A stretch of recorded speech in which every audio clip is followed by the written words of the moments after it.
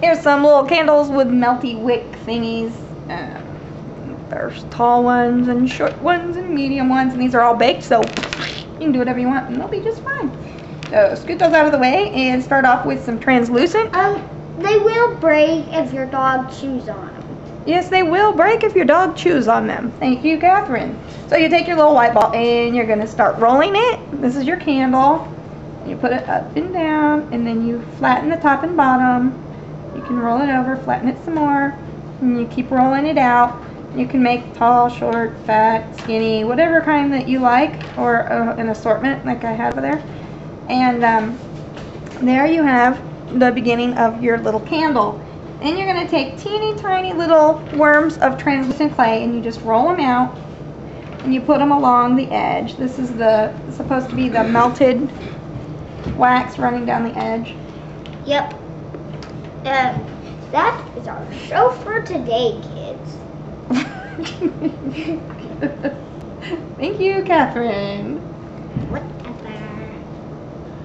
Okay, so you put several of these on. Then I'm going to take a tiny little ball of, of uh, clay and then put it right on the edge so it looks like... what it was called. Yeah, I almost said wax. So that way it looks like the wax melted down into the little pile and put it at the bottom of one of those drips. And of course you can put more on there if you want. Just make a little ball. Squish it. and just set it on there. Here, nice, have a nice big one. See it? And then it looks like it melted over there. You're gonna have that little, um, like the little divot part where it goes down in there. I'm using a tiny little bead and putting it on top and shoving it down. And then because it's a bead, I can grab the inside with a needle and pull it out through the, the little hole. Oopsie, and see I keep messing up the very edge when I do that. And I drop the bead. But then I just take um, another little piece of melty wax like stuff and melt it down the edge. Nobody's perfect. Thank you, Catherine. I'm certainly not. Okay, and then I'm taking my chalk pastels, but you can use any kind of chalk you want.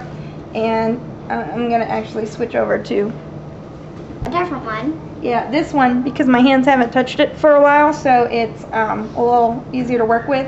And I'm going to take a little paintbrush and on my Eat Crew or my Wacky Yellow, the dark yellow, kind of ugly yellow chalk. You're going to paint that and then I paint a couple times like you clean the brush just a little and then you you're gonna that'll make your uh, make make your candle look old you just brush around make sure you get really good right around the um, the wax drippies